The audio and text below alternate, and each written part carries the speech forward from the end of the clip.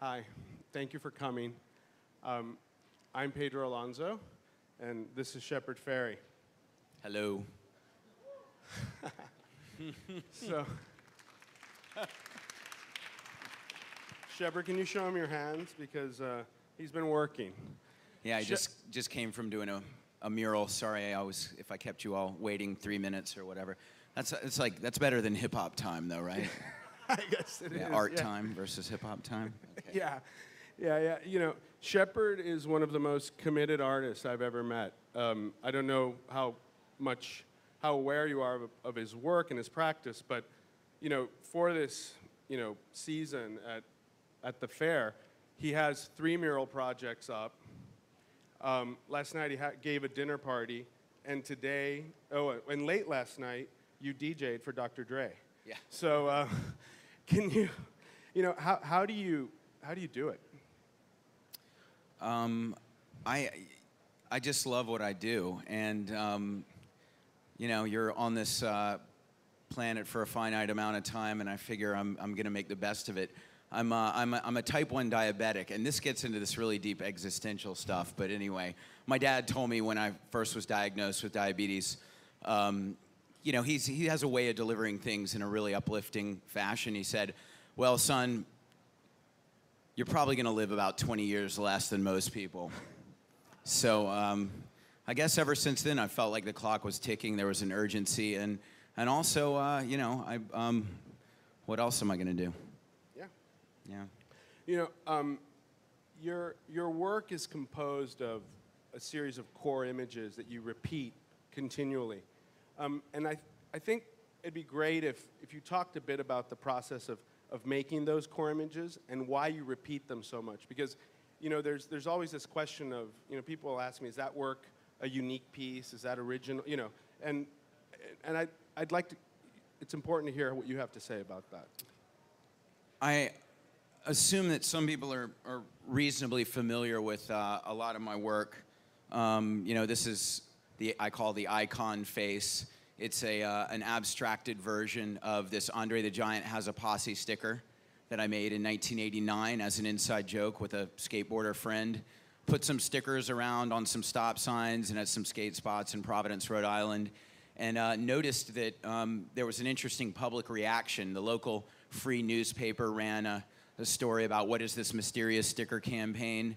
And um, I decided to make that an icon that I would repeat because just with very little money and um, a bit of effort, I had um, somehow created something that was getting, um, getting attention and piquing people's curiosity.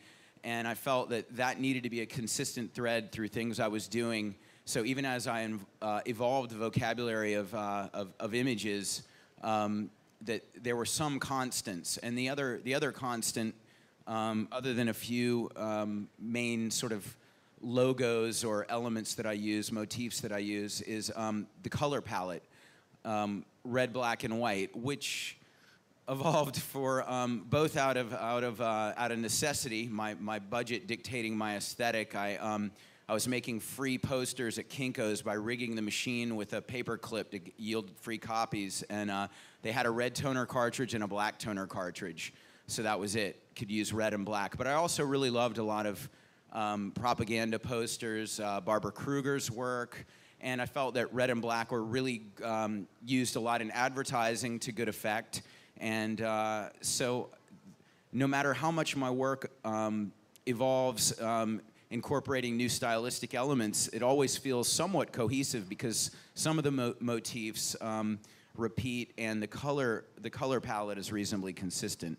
So, um, you know, my practice is I make. Um, when I started, no one was buying anything I was making, by the way. So um, I had to make everything very, very inexpensively. And I started by making 18 by 24 posters, which was the largest size I could screen print by hand. And um, and then I would I would make a hundred on thicker paper to hopefully at some point sell, but then I would make a few hundred on thin paper to put up on the street. And um, I've continued that. I've made larger images, but because I couldn't make really large pieces by, uh, by screen printing then, I decided I would tile them up the way that Warhol would do the, the the Coca-Cola or the multiple dollar signs or Warhol heads. I mean, or Marilyn heads, and uh, and and and take over larger spaces in public with uh, with the grid system. So with a consistent color palette and that format, um, that's how I worked, and I still utilize that. But now I make really huge images, and I also make um, patterns that repeat that are still formed from 18 by 24 posters, but that can create a rhythm in a really large installation between smaller images, patterns, and larger images. You know, th- another key aspect of your work is um, the distribution. When you when you started the Andre the Giant Has a Posse campaign, you um, accidentally invented, you know, viral marketing. you know, um, uh, because you were producing it yourself. You were paying for the production of the stickers. You were paying for shipping stickers, and you were advertising in skateboard magazines um, to get people to call him so he would send them stickers. And at one point, he couldn't afford it anymore. So he, um, he had to charge a dime, right? Yeah. A dime yeah. a sticker. A And then that turned into a business. That's right. Not a good, not a very good business, Well, yeah.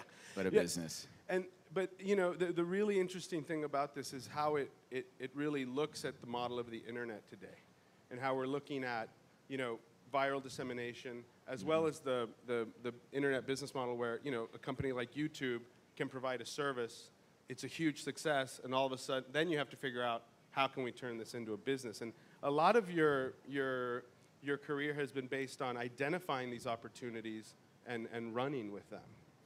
Well, I think the, the first uh, thing for me was to um, differentiate what I was doing from traditional commercial ventures because, um, for one thing, a lot of the work I was making was really designed to call into question conspicuous consumption and the control of public space. So, if what I was doing looked identical to every other business, um, it wouldn't have the same effect as feeling uh, a little bit unique. And it had to sustain itself somehow, so there had to be some revenue generating component. But by charging very little for the stickers, giving a lot of stuff away, putting stuff up in the street that was clearly not uh, advertising anything because I didn't really have many products um, at the time. Um, I think people were they were intrigued. They felt like once they I, I wrote a, a, a thing that I called my manifesto, which sort of explained a lot of the psychology behind um, the sticker campaign, and it, it talks about phenomenology, which is a, a theory um, that uh, was was uh, developed by Martin Heidegger, which uh, it says that people have become numb to their surroundings and they need unique experiences to reco- reawaken a sense of wonder about their environment. So I, I felt that whatever I was doing, even if it had a commercial component, still needed to um, utilize uh, phenomenology. So uh, giving away stickers, making proof sheets that worked like a chain letter, and having people feel like they were participating in something that was a little bit subversive and um, not too commercial um, really created a meme and that's the, that's the important thing here that's what the internet does a lot you know everybody's seen this one video because it gets forwarded a, a zillion times i kind of created that with, uh, with a sticker Can you t- share how many you've distributed in 20 years? Well, I um, you know, I started off. I thought I'd done a lot the first year because I printed sixty thousand stickers that year. Um, but then it's gone up and up and up, and I think I've been I've been at around you know eight hundred thousand to a million stickers a year for the last few years. So I, I figure it's probably around 10, 12, 15 million now. And they've shown up literally all over the world. I mean, sometimes I feel like I'm tracking you or I know where you've been because I see them, you know, everywhere. Yeah, they get out there. They're harder to take down than they are to put up. That's a good thing. And then, so, but now, I mean, people can like order them online or, you know, this is something that's commercially available. Yeah, you can you can order my stickers online, and they're, they're still um, relatively inexpensive. But I used to anybody that emailed me, I would send stickers and posters free to them if they said they wanted to put them up. But then you know, supply and demand kicks in, and uh, my my book's named Supply and Demand because all of a sudden around 2000, I started seeing sticker packs and poster packs that I sent out to people to theoretically, you know, join in the revolution, you know, and uh, uh, and they're and they were on eBay. So then I started sending the posters out folded, so they'd have a big fat crease in them, so they were harder to eBay. But one of the Obama posters with a with a crease through it still sold for um, twelve hundred dollars Really? on eBay. Yeah, but um, I, I, I now what I do is if I know someone and they want stuff, I'll you know I'll give it to them, and uh, uh, everybody else has uh, the option to download many of my images free off my site, high resolution, and do whatever they want with them, except for make bootleg T-shirts and sell them uh, in in mass. They can make a couple for themselves, but you know. Well, you know, there's a, a, a very interesting story about, you know, Shepard did this really great show in Boston, and uh, there were a lot of outdoor works. And, and the fact that Shepard was in a museum, you know, in many ways challenged your street credibility. And, and this was manifested one day when we were um, in, a, in, a, in one of the murals that he'd done. Some, a kid had come by and, and tagged bitch. And, um, you know, so we cleaned it off. And three weeks later, someone came in with a spray can and, and wrote, Please do not disgrace my city with this ludicrous abomination. Now, that's not something an 18 year old kid is going to write. And um, later witnesses reported that it was two women in their 40s who did it. And, um, and, and that, that, that situation of reconciling, you know, this, you're kind of in limbo because, you know, you're, you're, you know, you're, you're having great success in the art world, you're en- entering the art world in a big way, but at the same time, you're challenged with your, with your roots. How do you reconcile that? Well, to me, um, it all comes down to um, what the end goals are and also recognizing how things evolve. Um, you know, the end goal for me was always to make people realize that art can affect things. And whether it's just a piece of expression that's therapeutic for the creator that they're sharing with an audience, or it's got an, an overt political message, um, I think that art is very underutilized as a tool of communication. So for me, putting my work in the street was a way to connect with a broad audience. I'm, I'm, I'm a populist.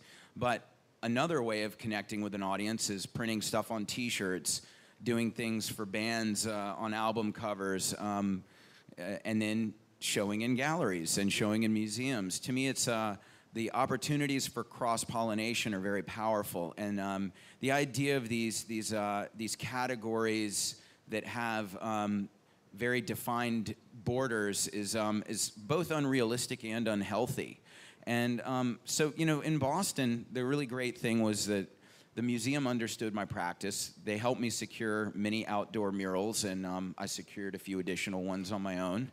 Um, and, um, and, you know, and they also did a fantastic job showing the work in the museum, along with videos that showed um, various, you know, installations I had done, skateboarding, you know, every everything that really makes up the culture that my project is about. Um, so I thought that you know, for the street artists that seen my work in the street to go into the museum and see it presented in a way that actually would give them some hope that what they that what they do can can be validated and maybe make them a living at some point. Um, that's that's really valuable. And then the person that goes to the museum that's never considered street art valid that now goes outdoors and looks at the streets um, with a different point of view that's that's really significant too. And my work's always been about creating debate. Um, it's been provocative, and so you know that I've become a lightning rod for um, various ends of the spectrum is um, you know sometimes unpleasant, but um, but really uh, uh, indifference would be um, far worse. Yeah. Yeah. No, you, you, um, there's no lack of uh, attention. People are, I think she needs to give you something, sorry. No, Oh, thank you so much. Awesome. sorry. Um, you know, In- insulin. There's that diabetes thing. yeah. now Shepard, um, you know, you, you have, I mean, one of the, the tenets of your work is really accessibility. I mean, you've, you've gone out of your way to put it in front of people. Uh, you make work that is conceptually accessible as well. I mean, people get it. Your references are, are very clear. They're, they're drawing from popular culture. And then, um, and then it's also financially. I mean, you, you sell your prints, for instance, or the stickers. You, you make things that really anyone can afford, and you sell your prints for way below, you know, market value. Uh, At the same time, you're a capitalist. You know, you're because you are. You're, you're, you know, you have a clothing line. You're, and, and, and, and, and a lot of people, you know, I've heard pe- people have told me, you know, that guy's he's kind of a hypocrite, and I, and I, and it's a very, it's a, you know, but these are about these lines you're talking about, and and people often want to put you in a box, and and you don't, you don't let us. You make it really tough for us to put you in a box. Thanks. Um, I mean, to me, um, there's a big difference um, between making work that finds an audience and that audience wants to um, own a piece, um, connect with it, um, and then that being, uh, and then you receive some sort of financial compensation for that, um, and the financial side being what's driving you. Um, in fact, what you know, to get back to you know the idea of, of people wanting to purchase something and, and even if it's at a, a affordable price. When I was at RISD and I, uh, I wrote Rhode Island School of Design, I guess everyone here knows that, right? You're all like, yeah, um, hip to the art school slang around here. Um, I, um, I had some people say, you know, well, what you're doing is really fascinating. I think that um, the psychology of it is interesting, and I think you could get a grant, and you could, you know, you could make your stickers and your posters, and you could put them around, and then you could, you know, write up, uh, you know, an interesting case study on what happened, and um, and, and I thought, you know what, I really need to succeed by this working through the normal um, forces of, of consumer and pop culture. That's going to be the measure of whether it succeeded because the intellectual world probably doesn't need to um, you know, benefit from some of the ideas, some of the provocation in the way that the, the rest of the public does. So I don't want this to be a sort of isolated, incubated thing. I want it to have to really deal with what's going on in the real world. And um, you know, I look at uh, the things that have happened for me financially, which have been much more recent. You know, it's great. I have a family and um, I can support them. And I lived in poverty in, uh, for the first 10, 12 years of my career. Um, this is a byproduct of what I do. It's not the end goal. And, uh, you know, I, I think that, um, uh, you know, Michael Moore's a, a millionaire, but still, what he does is pretty awesome, right? Does anyone say you shouldn't make great documentaries that make money, dude? Yeah. You know. Um, anyway, um, you know, I do a lot of philanthropic work, and that's uh, charity is a, is a luxury. Uh, you know, I'm, I'm at a point now where I'm not having to scrape from month to month, and I can put my energy into things where I can donate art and donate money um, to things I care about, and um, you know, that's that's how I uh, that's how, how I sort of balance things. Yeah, because um, I think it's safe to say that, you know, over half of your career at least, I mean, the first 15 years, you really gave very little attention to the art world. I mean, you were really engaged in this campaign, and and and why why you know why why weren't you interested in the art world? I mean, I, I think I, I, I think I wasn't that interested in the art world just because it was such a narrow conversation.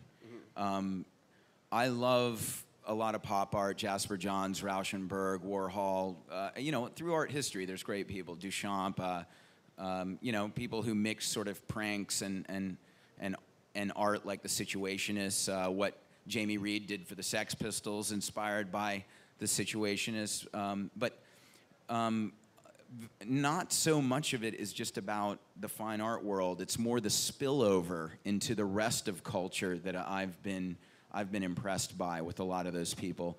Um, you know, I was just as inspired by skateboard graphics and T-shirt graphics and album cover graphics as I was by by museums. Now, I, I've gained a greater appreciation for what goes on in in, uh, in, in galleries and museums, and that's what I think. Um, what people really uh, respond to when it comes to fine art is this idea that someone is able to approach something with absolutely pure intentions. And, um, and that's why people get a little apprehensive about commercial things because they think that maybe the, the agenda isn't to make, you know, art in with a capital A, but it's to make something that can sell something. Um, and, and I do appreciate that part of art, but I always felt like um, the conversation should be broader than the art world. Yeah. And I still do. Yeah, because in many ways, your, your practice has spilled over into the art world. It, it kind of a, the The- reverse. The, of what- trickle up is what yeah, I call it. the trickle up. Yeah. Yeah, yeah, and and you know one of the the again your commitment, your you know Shepard is very committed to his work. He's you know working all the time, and I think that one of the things for you is really about getting the work out there. You're you're um, you know you want your images to be seen. You want people to know them, and um, but but at the same time. Um, you know, it, it, you've, you've, you've worked with many, many mediums, clothing. I mean, is, is that the end goal to get it out there?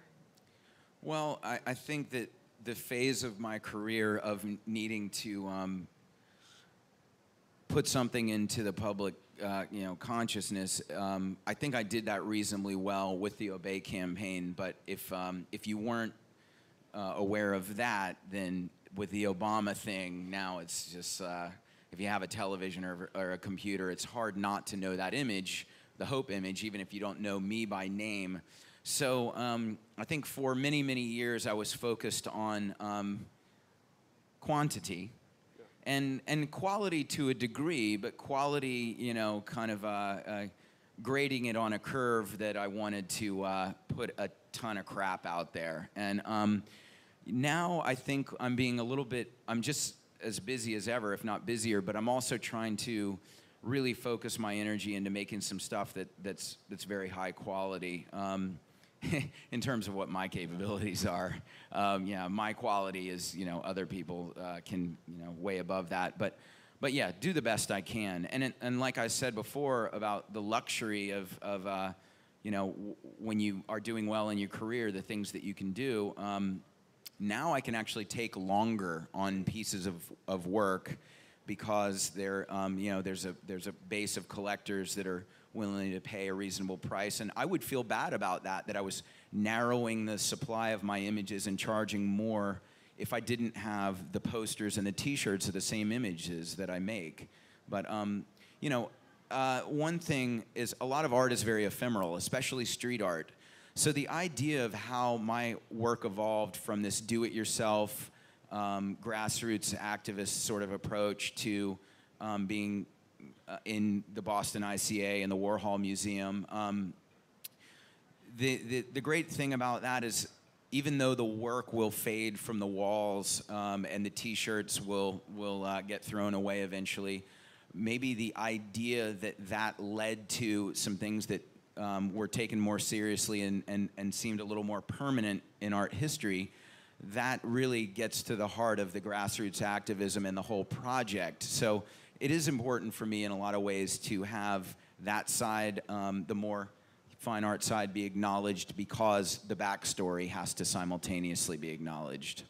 No, that's it's, it, you know, and you and there are several artists of your genre, you know, the street art genre, who, you know, who were dedicating a lot of time and resources to, you know, these these almost a feudal campaign where you're going out and you're putting up these posters. It's costing you money, and then, um, at, but at the same time, over time, there was. Um, you know, it, in a way, it was like a marketing campaign because people started to see these things, get interested in them, and, and want them.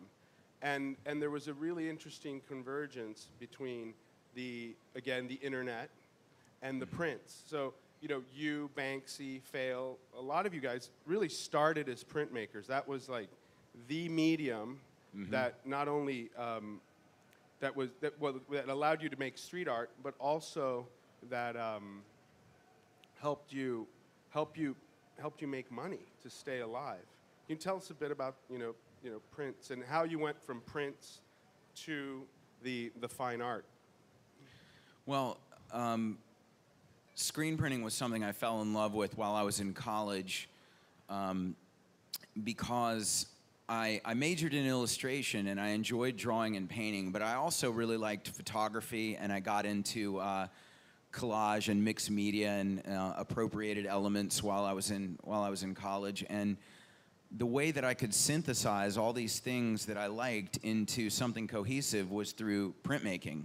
And also, I, um, I always had a fear that when I worked on one precious original, a painting or a drawing or a one off, um, was that I either didn't push the piece far enough or I tried something risky and ruined it, went too far. But with a screen print, I could have an idea of how I wanted the, the, the piece to work but then I could also experiment. And this is, uh, you know, I'm 39. I went through RISD from 88 to 92, and desktop publishing was really just coming in at the end of my stint at RISD. So I never learned how to use the computer. So I never had the ability to mock up compositions and then experiment with them on the computer like I do now. So I did it all manually with screen printing.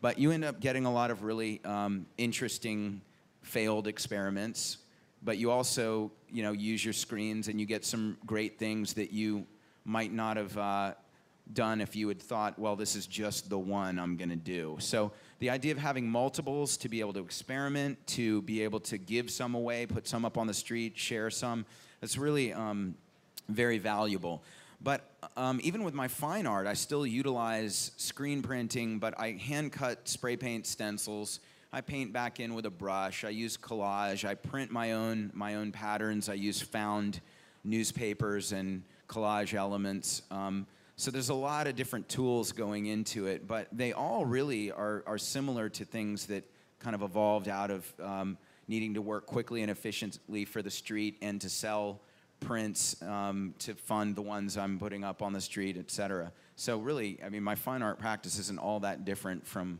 what I've done as, a, as an artist for 20 years now. Perfect. Um, we're, we're running out of time, but we would like to open it up for, for a question.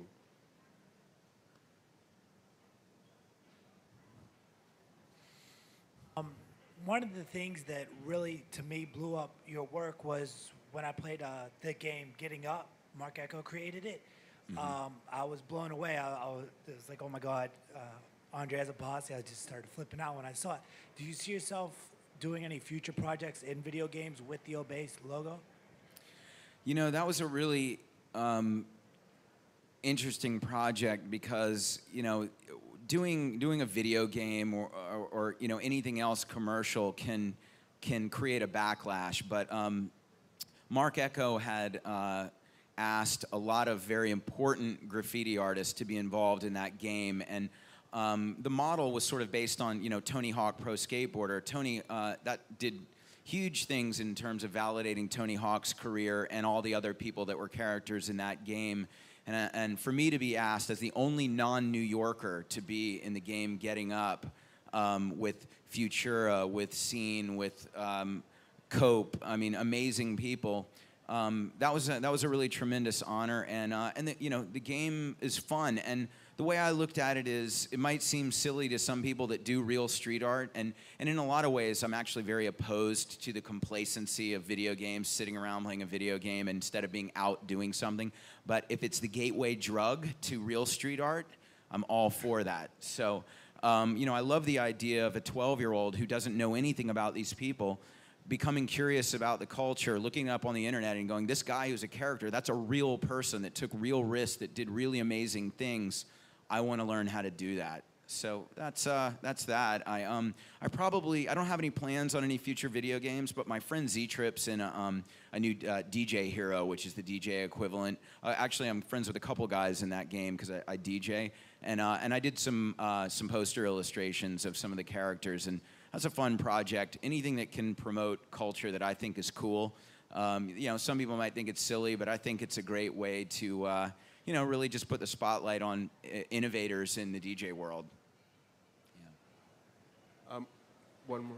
A couple years ago, I visited some friends in Berlin, and they showed me that on the side of their beautiful old building, there was a piece of art that I think they called glue-on art or something. Basically, work on paper that had been glued on, and they were going to get rid of it. They were going to scrub it off, but then somebody told them that the artist who put it on was very famous, and there was a sense in what they were told that it would be shameful to remove it because it was important culturally.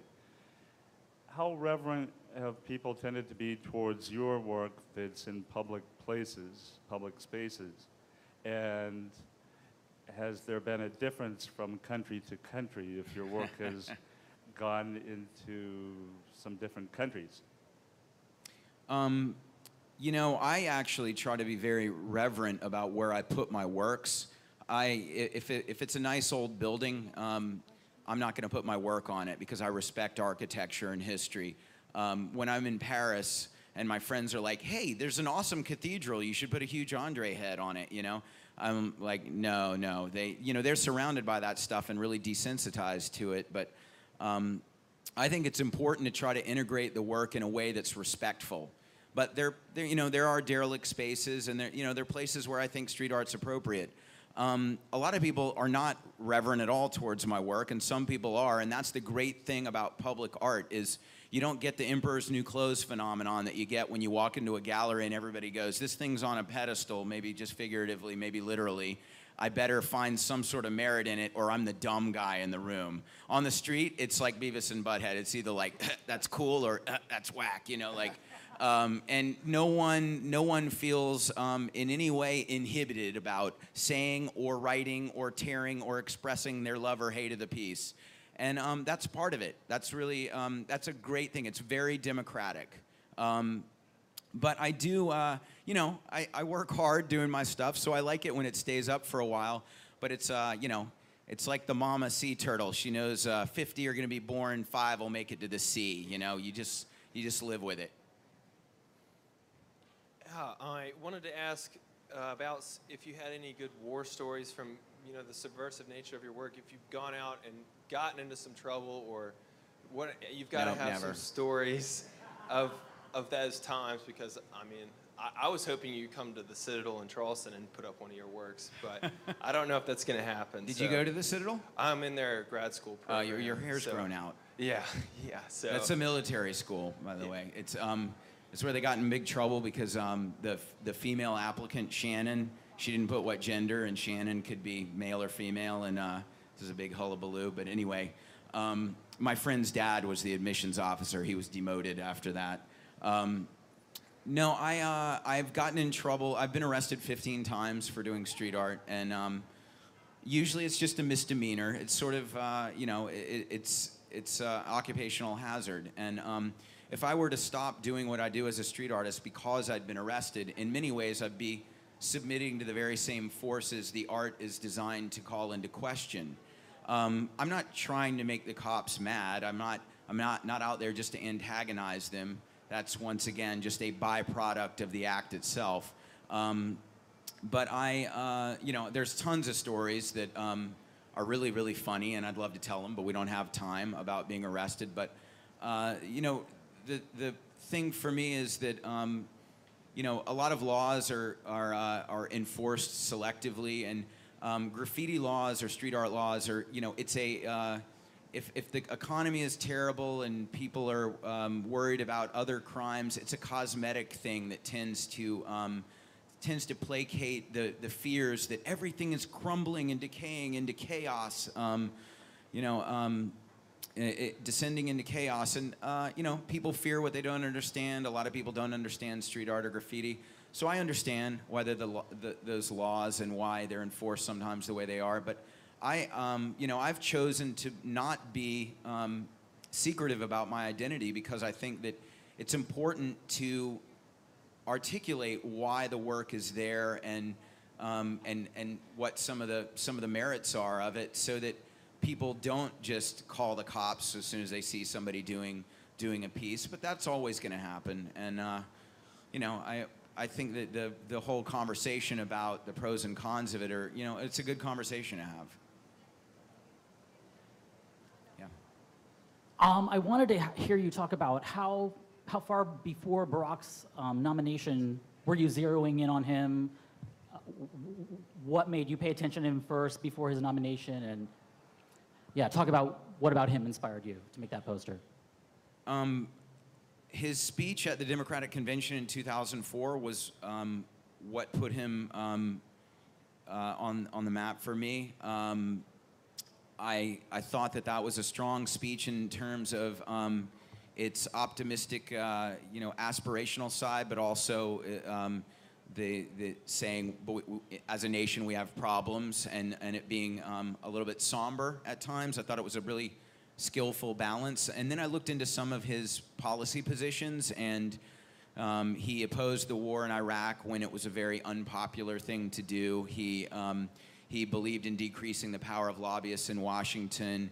He believed in green energy and, and protecting the environment. Um, healthcare reform, workers' rights, a lot of the things that, that really resonated with me. And, um, you know, when he announced his candidacy, I, um, I went and I watched a bunch of things on YouTube and I, I read about him. Um, and I actually wanted to do a poster for him before the primary and uh, uh, the primaries even started, the primaries and caucuses even started. But I didn't want to just make a poster and have it be, you know, fuel for Glenn Beck and Sean Hannity those other idiots to say, um, look at the company Obama keeps, a radical who's been arrested 15 times for transgressive street art. You know, so um, I, I didn't want to do it then, but I finally got the green light from the campaign. Not my poster wasn't an official campaign poster; it was just a grassroots poster. But they gave me the go-ahead at uh, in the middle of uh, January. So um, I think there'd only been one primary at that point. Um, and uh, and then I got started getting my stuff out there. So um, you know, I, I oh, I'm not a cheerleader for Obama. I'm not completely happy with everything he's doing. I still think it's far better than if McCain were president. Um, but Obama being president is a step in the right direction. It's a foot in the door. It's not Obama's got to fix the country. We have to fix the country. So I'm making, I'm still working with MoveOn.org, making clean energy posters and making my own art for Sea Shepherd and uh, human rights in Burma and plenty of other things that I hope that Obama will get around to really doing some meaningful things with. But I'm not leaving, I'm not waiting for Obama to do it. I'm doing what I can. Hi. Yeah, Obama. We have time Thank for you. one last question.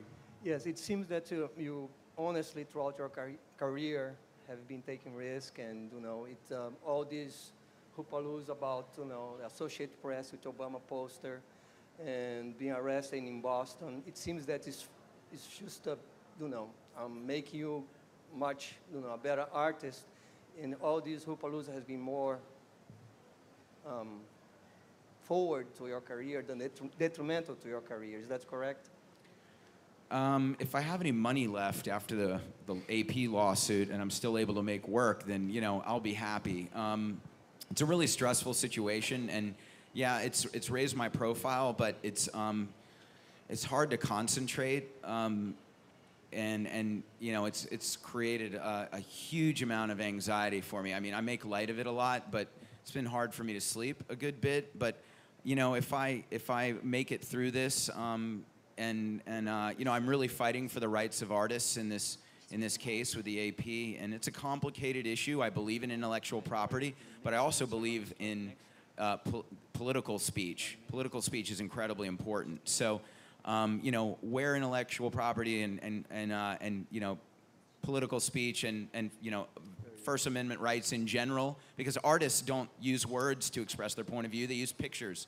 Um, they need to they need to find a happy medium, and um, and I'm sensitive to both sides of the argument, but in the case of that Obama poster, I know which side I'm on. Um, but you know, it's uh, it- it's it's I, I'm focusing on the things in my life I have control over. I think that's what uh, on, the only thing anyone can do. And you, uh, you know, I, I, I try not to have regrets. I try not to second guess any of the decisions I've made, um, but uh, and just learn and move forward. Shepard, thank you. Always a pleasure. Thank you. Thank you for coming. And uh, if you want to see Shepard's murals, they're, they're over in uh, the Wynwood District, uh, Northwest 2nd Ave and 26th Street. Yeah, and there's another one at uh, 31st in North Miami. Three 80 foot murals.